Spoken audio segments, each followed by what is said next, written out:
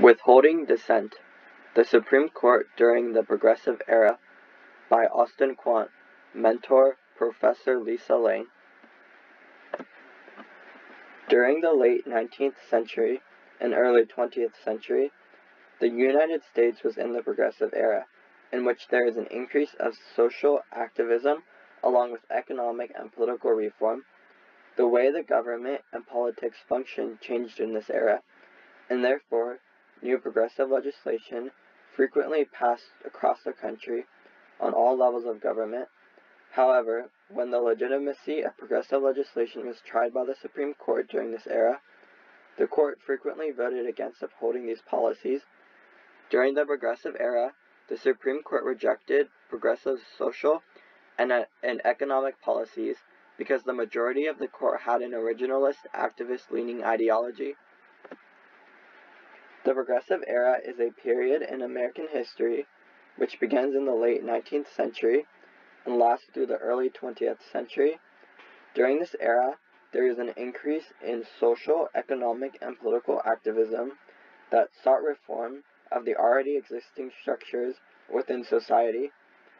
The increase in activism occurred due to problems caused by industrialization, political corruption, and urbanization. Due to the increased desire for rapid change of society, historians often refer to this time period as the Progressive Era. According to the Constitution, the Supreme Court has the power vested in it to determine if a law is considered constitutionally legal, that is, whether the Constitution would allow such a law to be enacted and enforced, and whether the legislative body that passed the law had the power to do so. As a result, the Supreme Court has the ability to permit or deny laws that are passed through the process of hearing and trying cases. The Supreme Court ruled against progressive social and economic legislation due to the majority of the justices applying the practice of textualism. Textualism is a judicial philosophy and practice in which the judge applies the original meaning of a text to the case. The U.S. Constitution implies that all U.S. citizens have rights to general welfare and protected fundamental rights. General welfare is the idea that the government must protect the, the freedom and liberty of the citizens. Fundamental rights are rights viewed by the government as needing higher protection, such as the right against exploitation. A defining case during the Progressive Era was the case Lochner v. New York which occurred in 1905. During this case, the Supreme Court ruled that states could not set time limits of working for workers. In the opinion of the court, Justice Peckham describes how the right to general welfare is attacked when he writes, The statute necessarily interferes with the right of contract between the employer and employees concerning the number of hours in which the latter may labor in the bakery of the employer, which signals that the law to limit the amount of time workers can spend working was considered unconstitutional by the Supreme Court. In this example, the court views the general welfare right as the freedom for the individual to make a contract with their employer, as well as having the liberty to choose how much time they work. The court determined that the fundamental right of the government to protect the worker from exploitation does not overrule the general welfare right. The justices believe that the general welfare of the individual was of greater value in the Constitution. Therefore, they did not try to apply the Constitution in modern terms or try to determine if there was an example in which the Constitution could do more harm to the people, such as workers being forced to work excessive hours in which the fundamental rights of the individual would be insulted. They strictly followed their ideology of examining the Constitution the way it was written.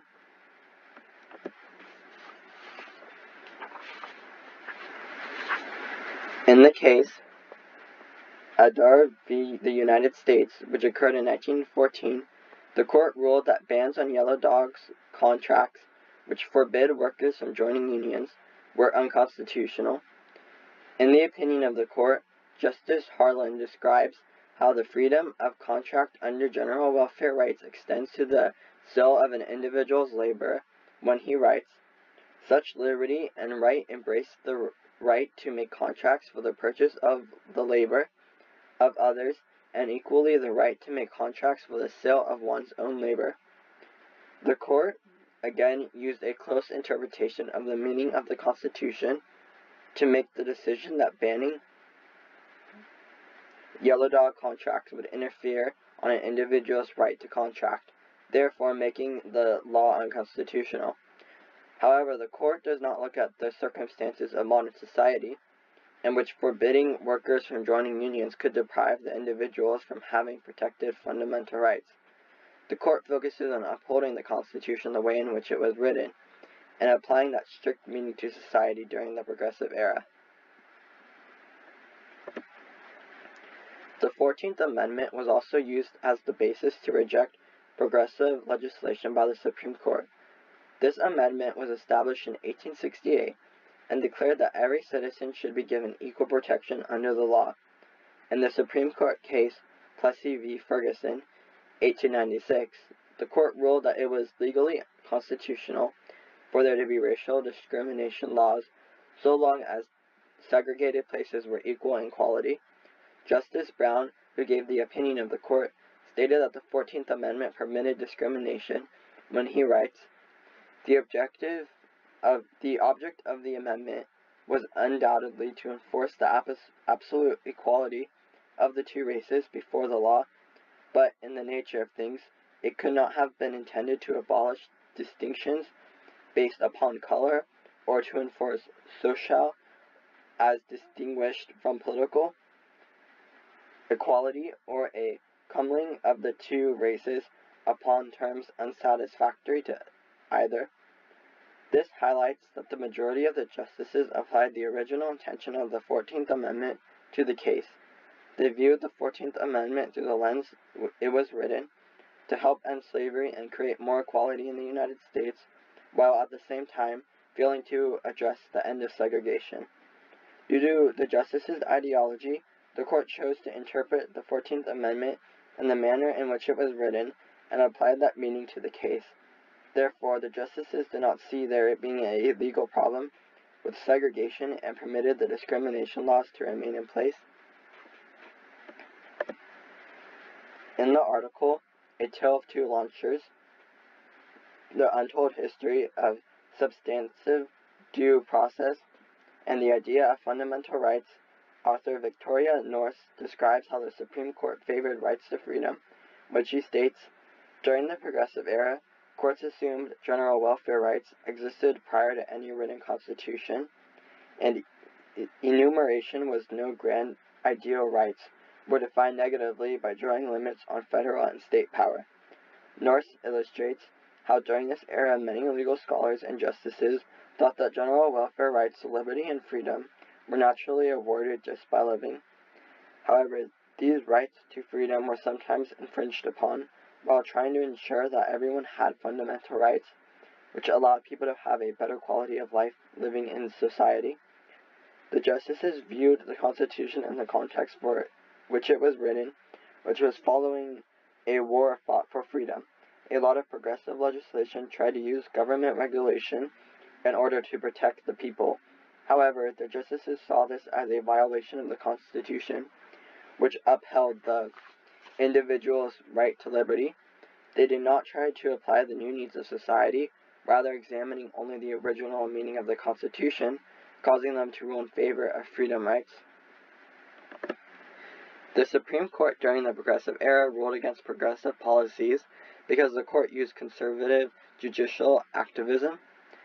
Judicial activism is the practice of choosing to hear and try cases involving laws passed by Congress or the President along with striking down laws passed by Congress or the President. In the court case, Hammer v. Dagenhart, which took place in 1918, the Supreme Court ruled that a federal law regulating child labor was unconstitutional. In the opinion of the court, Justice Day describes how the law is invalid due to Congress not having the power to streamline economic policies when he writes, there is no power vested in Congress to require the states to exercise their police power so as to prevent possible unfair competition. This depicts how the how the court took the opinion that they should follow and apply judicial review and their decisions. The court applied the idea that this law should be struck down because Congress could not create a certain economic policy which was creating restrictions on minors in the workforce, which would apply to every state. At the time the law was written, each state had different rules of minors in the workplace, while this law would create a nationwide law on the subject. The court chose to pick apart one part of the law instead of focusing on the overall purpose of the law, and in their opinion, found a reason for it to be considered unconstitutional. Given that this law was intended to protect minors, a Supreme Court which was practicing judicial restraint would have looked at the whole law and likely would have allowed it to remain intact. However, since the majority of the justices had a conservative ideology, they were actively looking to strike down laws which did not follow their ideology for any given reason.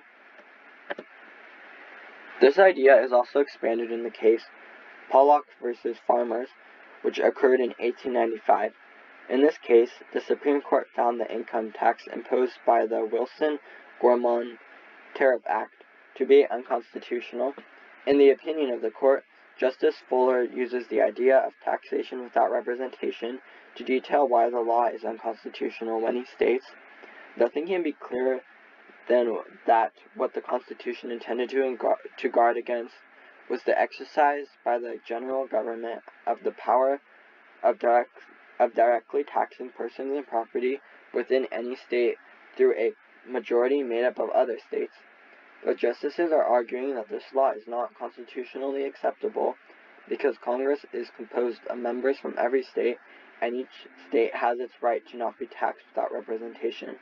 According to this argument, smaller states may not have as much representation in Congress and therefore should not be forced to follow the tax laws set.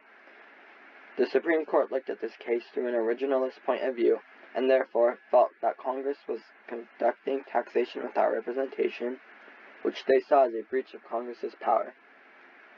This represents how the Supreme Court challenged the power that Congress has in order to keep progressive policies from being established in this country. The court used their vested power to declare laws unconstitutional because they wanted to control the path the nation was going on. In the article, The Supreme Court 1888 to 1940, an empirical overview, authors Sandra Wood Keith Linda, Lena Drew, and Ogundele Ayu write about patterns which occurred in the Supreme Court during the late 19th and early 20th centuries.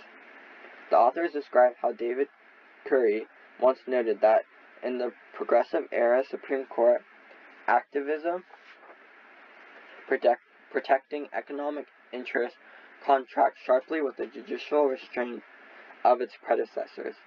This illustrates how the Supreme Court during the Progressive Era had used their power to declare more laws unconstitutional than prior courts. It was not normal for the Supreme Court to be actively striking down so many laws that the elected legislative body was enacting. The Supreme Court had a pattern of taking parts of laws of progressive economic and social policies and declaring them unconstitutional without looking at the intent of the whole law or how the law could be applied legally within the new needs of society. The court increased the practice of judicial review to check the constitutional legitimacy of progressive laws that were being voted into law by Congress. Progressive policies during this era aimed at transforming the social and economic system. The Supreme Court during the Progressive era ruled against progressive legislation because the court wanted to ensure social stability in the United States. In the article, Anti-Canonizing Courts, the author Jamal Greene describes how in order to understand why the Supreme Court voted against progressive legislation, people should know that the culture that those judges are part underlies actions we now believe to be unethical or immoral. Greene is trying to depict that society in the late 19th and early 20th century was very different from modern society. As a result, society was not as equal as it is today, and therefore changes in social and economic legislation aimed at bringing more justice often received more of a polarized reaction. Since the justices on the court had a conservative ideology, they were not looking for change in society and wanted to keep so social structures the way they were. Even if the majority of the general population had voted in members of Congress who supported progressive legislation, the court was not afraid to use the practice of judicial activism to ensure social stability. In the case Plessy v. Ferguson, the court used the idea of anti-social structural change in the decision to not end segregation. In the photo, Ku Klux Klan, which was taken in 1921, the photograph depicts people with white sheets draped over them, presumably members of the Ku Klux Klan. This image illustrates how during the Progressive Era, people were still very racist and against social change.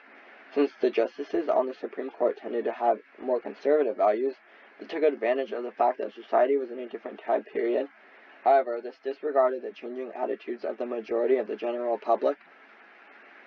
This idea about ensuring social stability continued in the case Muller v. Oregon, which took place in 1908. In this case, the Supreme Court upheld a law that limited female workers to working 10 hours per day, which may have been a rare win for progressive economic policies. It was a complete loss for progressive social movements, specifically the women's suffrage movement. Since the Supreme Court voted down a law to limit the working hours of men in Lochner v. New York in 1905, by the court agreeing to uphold this law, women were then not able to work the same amount of time as men, which created an unequal playing field. The cartoon Shall Women Vote, which was drawn in 1909, shows several men in line at a polling place, with one man sticking out his hand at an illustration of a woman taking care of children, with change surrounding this image. This image illustrates how women struggled for the right to vote, which is just one example of the many inequalities for women which plague society during this time. This relates to the case since the ruling in Muller v. Oregon essentially stated that women do not have equal rights to men regarding women's right to negotiate a contract. The majority of the justices continue to keep the social structure of inequalities in place by upholding this law, which followed the conservative ideology the Supreme Court during the Progressive Era had a conservative ideology during a time of social and economic transformation. Therefore, the court frequently used judicial activism to check and strike down the progressive laws which were being passed by Congress and even state legislators. The use of textualism, judicial review, and applying the practice of ensuring social order were all used by the court to not uphold progressive legislation. The Supreme Court was able to use their power to influence the direction of the country and slow down the inevitable change which was occurring. Thank you for listening.